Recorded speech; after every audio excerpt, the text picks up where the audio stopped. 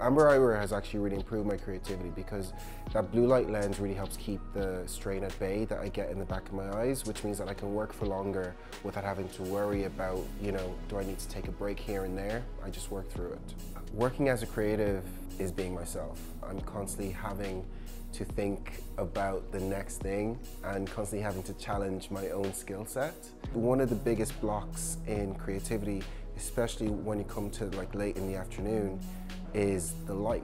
You start to feel your head get sore. Blue light filtering lenses, they really do help when I'm kind of sitting at my desk and trying to work through something to just be creative for longer.